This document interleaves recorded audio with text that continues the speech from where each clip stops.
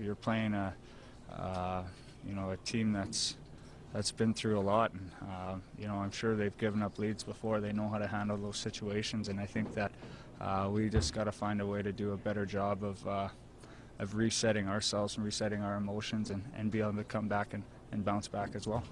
Know, I don't think we are flat.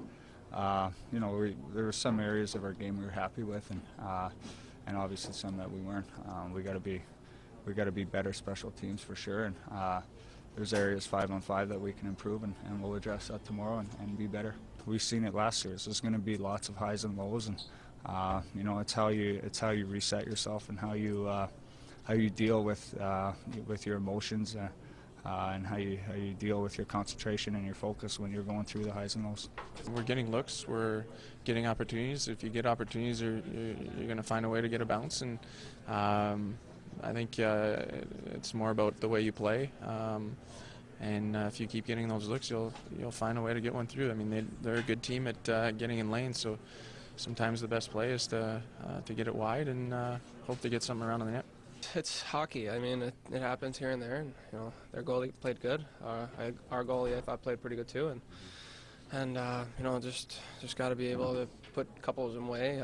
myself, you know, included. I thought I had a few chances to put a couple in, and uh, you know, didn't go today. May hopefully, uh, hopefully it'll go next game.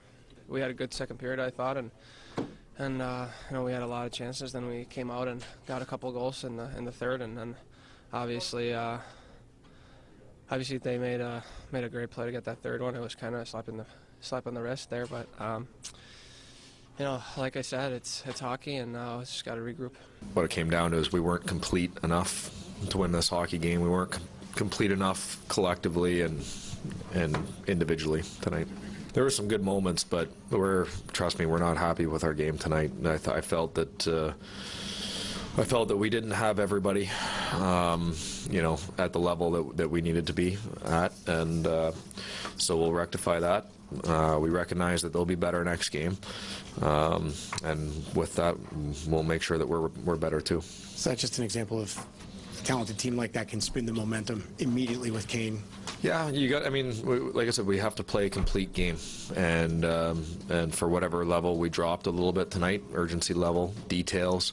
Um, you know, like I said, we did some good things, but uh, but we're we're not going to sit around right now and feel good about those things. Uh, this is not about you know one. I felt that we had you know a handful of guys that were that were um, below average at best, and uh, and so whatever the reason, whatever the reason for that, you know, whether it's uh, the quick turnaround, whether it's uh, um, you know not being able to get uh, adjusted and reset and focused on this, um, you know, we'll have to rectify that for sure.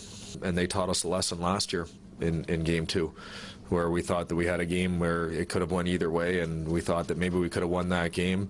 And as far as I'm concerned, they taught us a lesson and something that we better be prepared for.